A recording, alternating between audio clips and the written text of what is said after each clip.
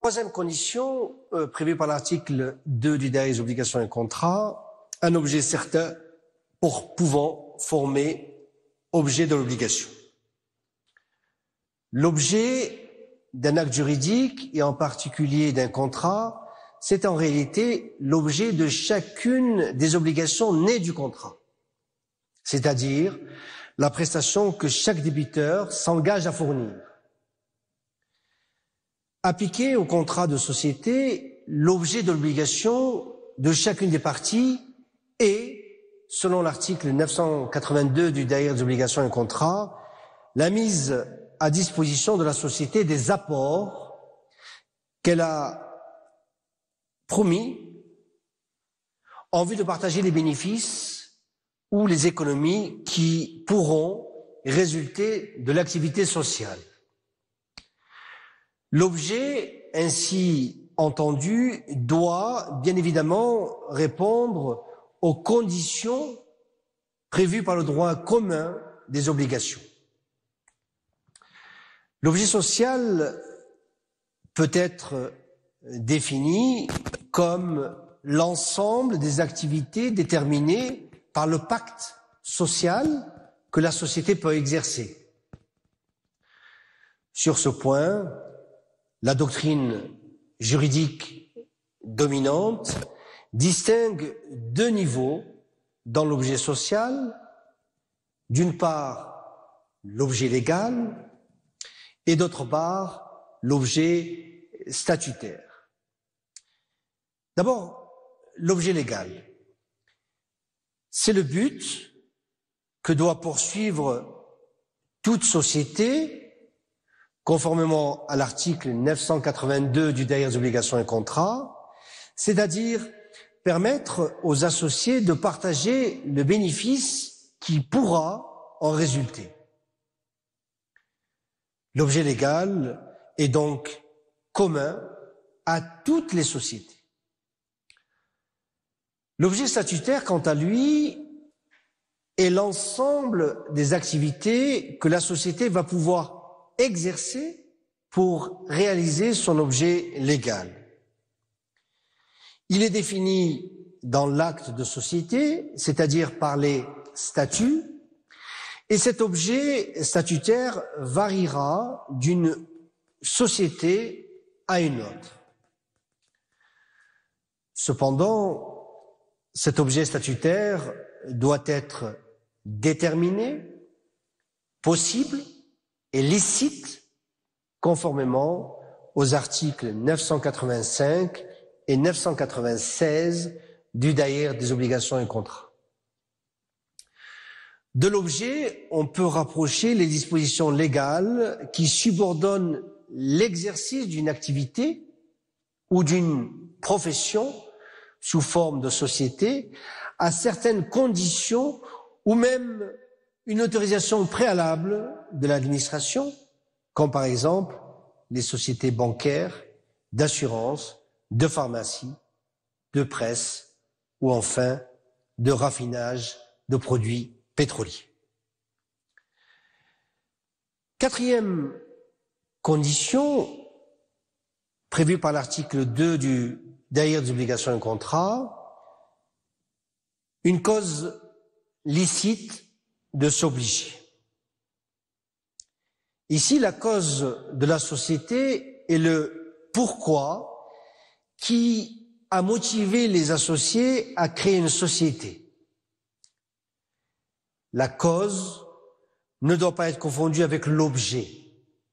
Par exemple, si l'activité de pharmacie est parfaitement licite, son, exploitation est cependant réservé aux titulaires de diplômes de pharmacien.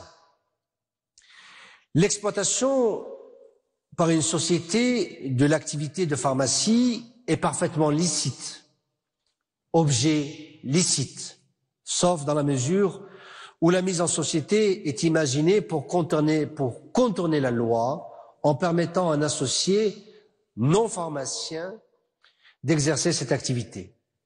Ici, dans cet exemple, il y aura une cause illicite. Les causes illicites, ou la cause, pardon, la cause illicite est sanctionnée par la nullité absolue du contrat de société. Alors même que l'objet social serait parfaitement licite. Après avoir vu les conditions communes, voyons maintenant les conditions spécifiques relatives à la formation du contrat de société. Les conditions nécessaires à la formation du contrat de société sont prévues par l'article 982 du dernier des obligations et contrats et sont au nombre de trois et une autre condition est rajoutée par la jurisprudence. D'abord, les conditions prévues par l'article 982 du dernier obligations et contrats sont d'une part la réunion de deux ou plusieurs personnes. Ici, c'est la pluralité des associés. Ensuite, la mise en commun de biens ou leur travail ou les deux à la fois. Ici, ce sont les apports.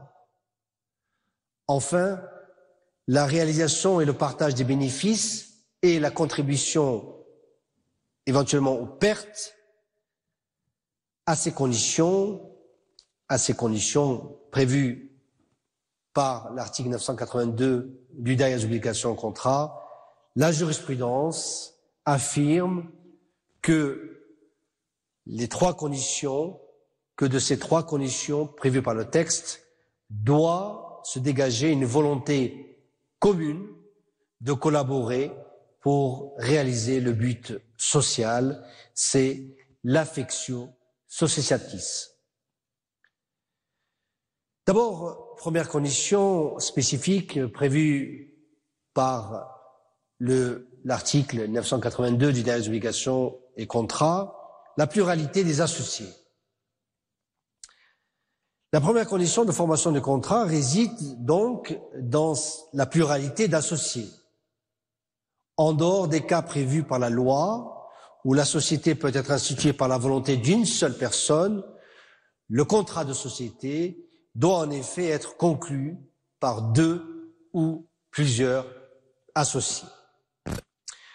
Cependant, en droit marocain, pour faire partie d'une société, il faut, il faut que l'associé ait la capacité exigée par les règles de son statut personnel, conformément à l'article 12 du Code de commerce marocain. Même capable, certaines personnes ne peuvent constituer une société entre elles. Ces limitations sont édictées par l'article 984 du derrière d'obligations et contrats.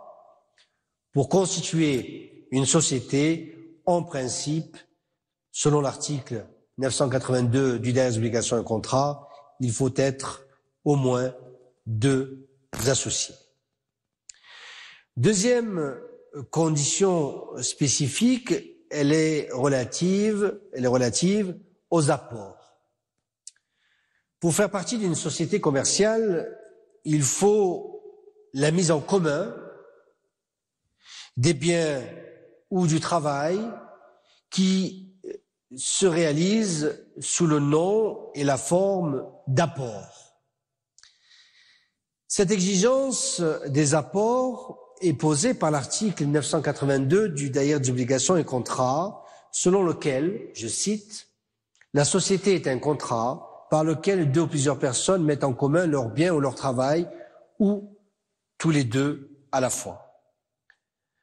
L'apport peut être défini comme un bien que l'associé s'engage à mettre à la disposition de la société en vue de l'exploitation commune en contrepartie de son apport, l'apporteur se voit remettre par la société des parts sociales ou des actions. Il résulte de la lecture même de l'article 982 du des obligations et contrats que les apports sont obligatoires. En effet, tout associé doit effectuer un apport effectif quelle que soit son importance, ou sa nature. Au terme de l'article 988 du Daïr des obligations et contrats, l'apport peut constituer en numéraire, en objet mobilier ou immobilier, en droit incorporel. Il peut aussi consister dans l'industrie d'un associé ou même de tous entre musulmans. L'apport ne peut constituer en, denrées alimentaires. Il peut même, selon l'article 989 du des obligations contrat, consister dans le crédit commercial d'une personne. L'ensemble des apports forment selon l'article 992 du dernier obligations contrat, le fonds commun des associés ou capital social. Traditionnellement, traditionnellement, on dénombre trois catégories d'apports. L'apport en numéraire, l'apport en nature et enfin l'apport en industrie. Voyons d'abord l'apport en numéraire. D'un point de vue pratique, il s'agit du type d'apport le plus simple et le plus fréquent. C'est celui qui consiste à mettre une somme d'argent à la disposition de la société. L'apport en numéraire se réalise généralement en deux phases. D'abord, l'associé va promettre de réaliser cet apport. C'est ce que l'on appelle la souscription.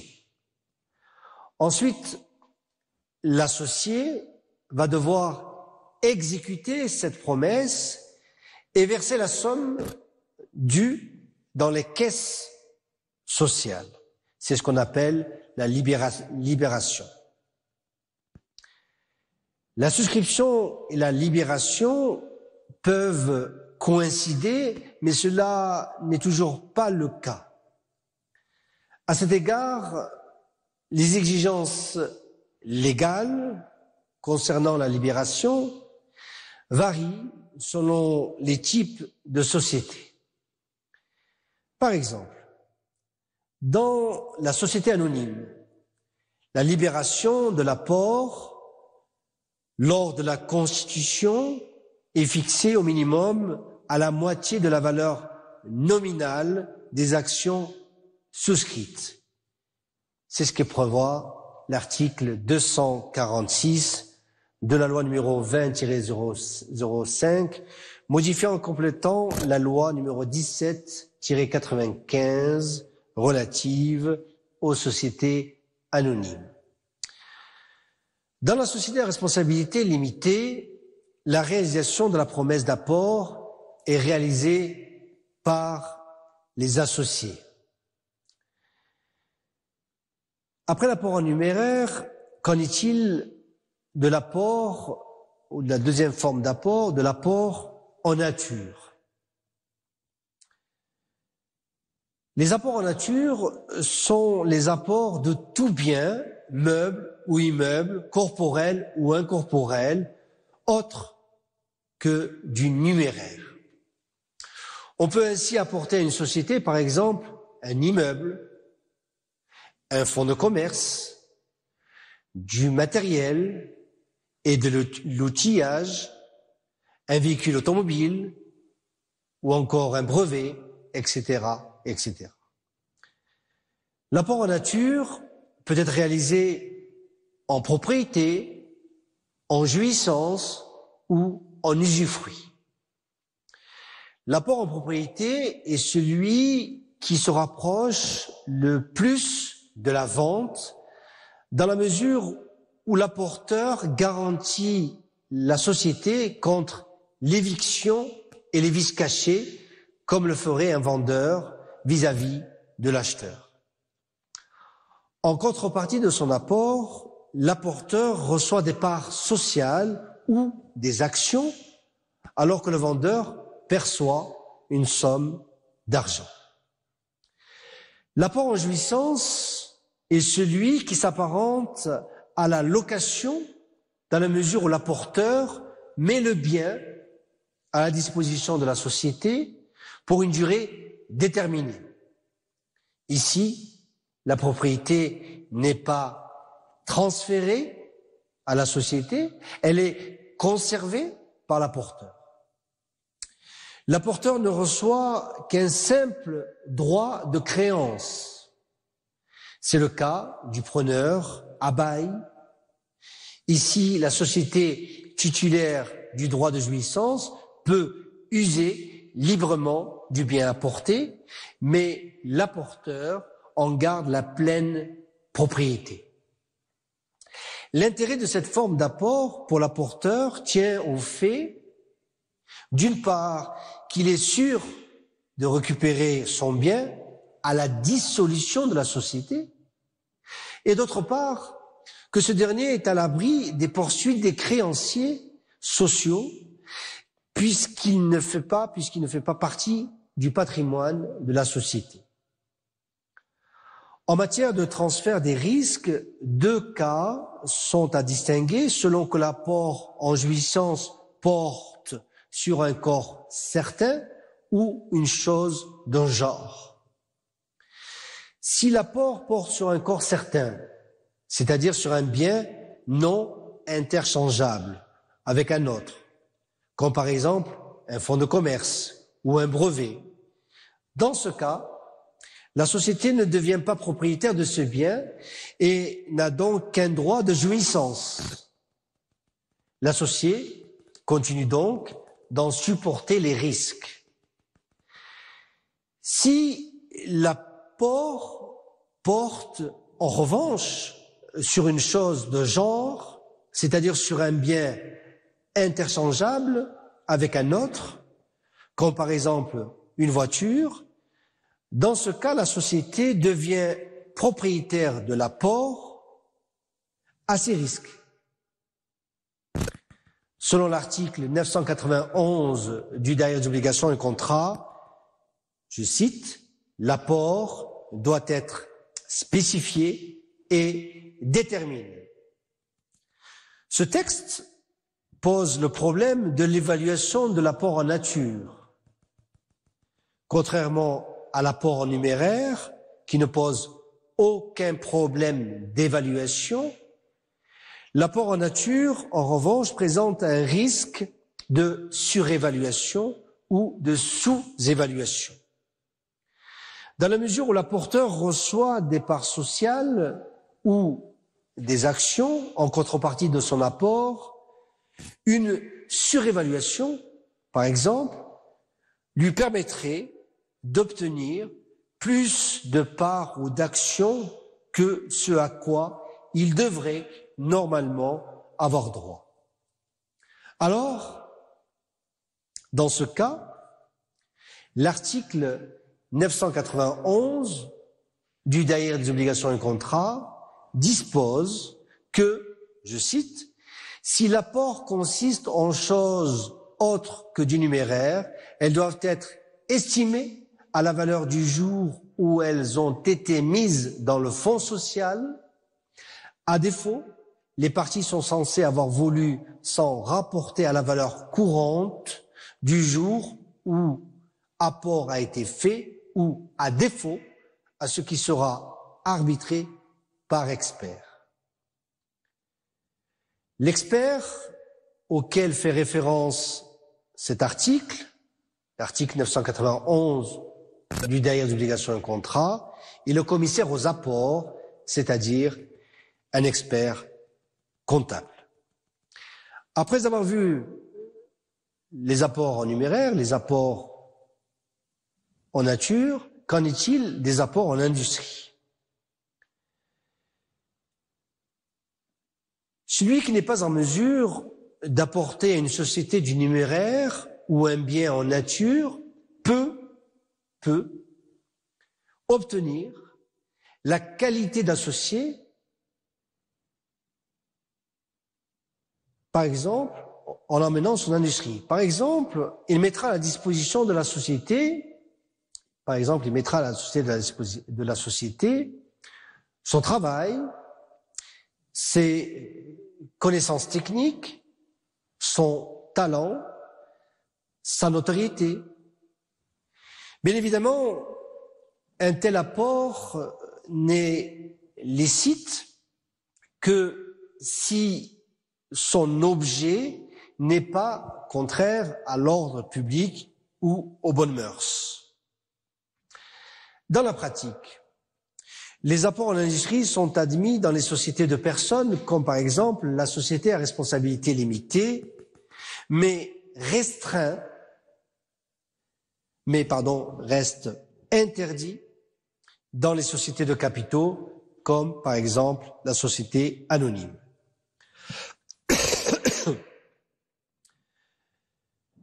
Troisième condition prévue, spécifique, prévue par l'article 982 dans du des obligations et contrats dans la formation de contrats de société, c'est la réalisation et le partage de bénéfices, et la contribution aux pertes. Il s'agit ici du troisième élément caractéristique de la société. Le but, en effet, d'une société est qu'il y ait spécifiquement lucratif. Il consiste normalement à réaliser des bénéfices et à les partager entre les associés. Ce troisième élément caractéristique du contrat de société distingue fondamentalement la société de l'association qui, elle, est régie par le Daïr du 15 novembre 1958 et dont le but est non lucratif, c'est-à-dire désintéressé. Cela ne veut pas dire qu'il est interdit à une association de faire des bénéfices. Le Daïr de 1958 prohibe seulement le partage de ces bénéfices entre ses membres. Cette affirmation résulte clairement de l'article premier du Daïr de 1958, selon lequel, je cite, l'association est la convention par laquelle deux ou plusieurs personnes mettent en commun d'une façon permanente leur connaissance ou leur activité dans un but autre que de partager des bénéfices.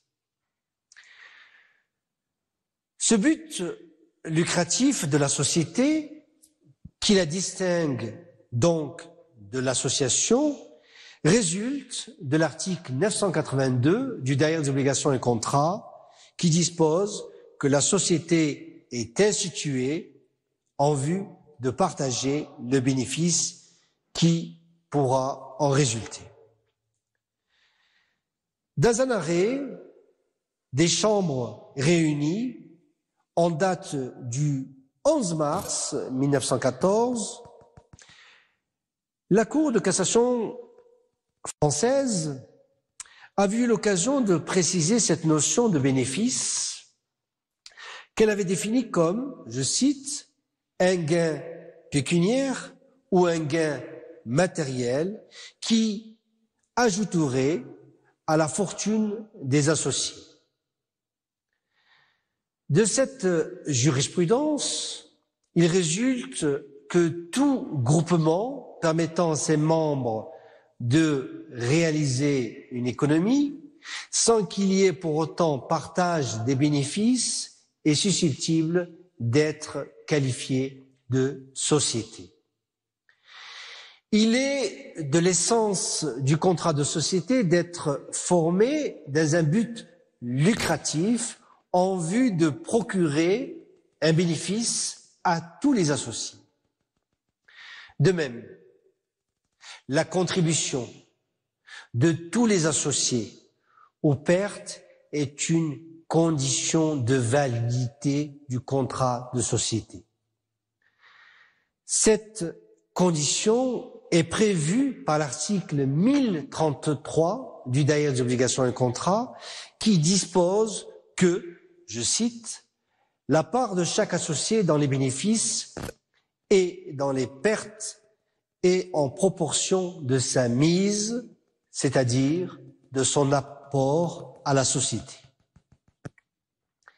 Cette règle de la proportionnalité est impérative et l'article 1034 du DAIR des obligations et contrats affirme que toute clause qui attribue à un associé une part dans les bénéfices ou dans les pertes supérieure à la part proportionnelle à sa mise est nulle et rend nul le contrat de société.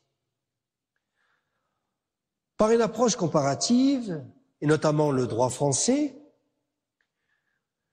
une répartition inégalitaire des pertes peut être prévue dans les statuts. Cette répartition non proportionnelle à l'apport reste licite dans la mesure où elle n'est pas léonine.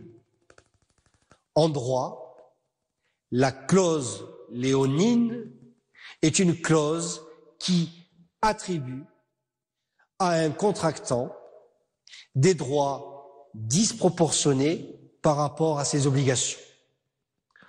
En droit marocain, des sociétés, une telle clause est interdite dans le contrat de société.